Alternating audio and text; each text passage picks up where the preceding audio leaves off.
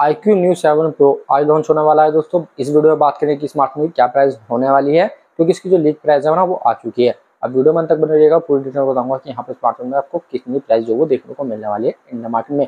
वैसे तो आप सभी जानते हैं iQOO neo seven smartphone का सक्सेसफुल होने वाला है। स्मार्टफ़ोन में अगर हम कंपेरिजन करें ना iQOO neo seven and seven pro तो ज़्यादा डिफरेंस आपको देखने को नहीं मिलेगा। मेनली जो प्रोसेसर है, वहाँ पर काफ़ी तगड़ा आपको चेंज देखने को मिलने वाला है। यहाँ पर iQOO neo seven pro smartphone में आपको six point seven eight inches का full H D plus super AMOLED display देखने को मिलेगा विथ कोजन फाइव की प्रोटेक्शन के साथ में एंड यहाँ पर आपको वन ट्वेंटी का रिफ्रेश रेट भी देखने को मिलने वाला है। बाकी पीछे का डिज़ाइन की बात करें तो पीछे आपको लेदर बैग डिज़ाइन जो है देखने को मिलने वाला है, जो कि काफ़ी ज़्यादा पॉपुलर हो रहा है आजकल इंडिया मार्केट में।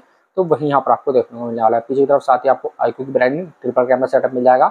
यहाँ पर जो प्राइमरी कैमरा 15 मेगापिक्सल का होगा एंड वाई का सपोर्ट यहाँ पर आपको मिलने वाला है definitely eight M P ultra and दो एम का माइक्रो कैमरा यहाँ पर दिया गया है। बाकी फ्रंट में अगर हम बात करें कौन सा कैमरा देखने को मिलेगा तो सेल्फी में आपको सोलह मेगा का सेल्फी कैमरा मिलने वाला है। अदरवाइज़ यहाँ पर कैमरा आपको काफ़ी अच्छा देखने को मिल जाता है जो फिफ्टी एम का प्राइमरी कैमरा सैमसंग का जी एन फाइव सेंसर होने वाला है। तो यहाँ पर आप इतना एक्सपेक्ट मत कीजिए कि जिस तरह से सोनी के कैमरे परफॉर्मेंस करते हैं, उस तरह से परफॉर्मेंस आपको नहीं मिलने वाली है। बाकी अगर प्रोसेसर की बात करें तो यहाँ पर आपको कॉलकॉम का Snapdragon eight plus gen one वाला प्रोसेसर मिल जाएगा, जो कि वन मिलियन का की तो उसको निकाल करके दे देता है।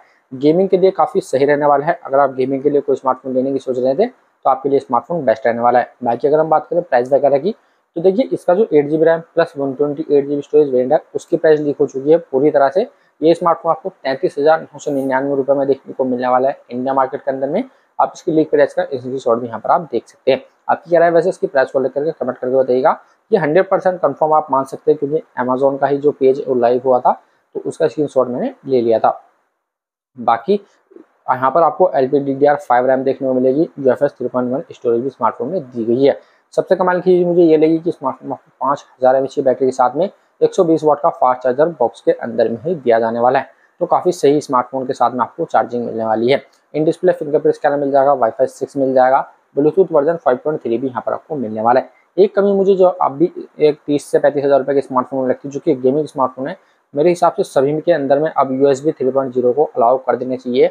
जितने भी तीस हज़ार रुपये से ऊपर के प्राइस में गेमिंग को लेकर के स्मार्टफ़ोन आ रहे हैं, वहाँ पर आपको थ्री पॉइंट ज़ीरो डेफिनेटली मिलना चाहिए। गेमिंग में यहाँ पर आपको नाइनटी एफ़ स्मार्टफ़ोन में मिल जाएगी बीजेएमआई के अंदर में, और यही स्मार्टफ़ोन के मेन हाईलाइट होने वाला लॉन्च में। आप चाहे तो चेकआउट भी कर सकते हैं लॉन्च इवेंट को। आज दोपहर बारह बजे ये कर दिया जाएगा। आपकी क्या राय स्मार्टफ़ोन लेकर कमेंट करके बताएगा वीडियो पसंद आई वीडियो को लाइक चैनल को सब्सक्राइब ज़रूर से कर लेना। तो मिलता है आपसे अगली वीडियो में। तब तक ले जय हिंद, वंदे मातरम।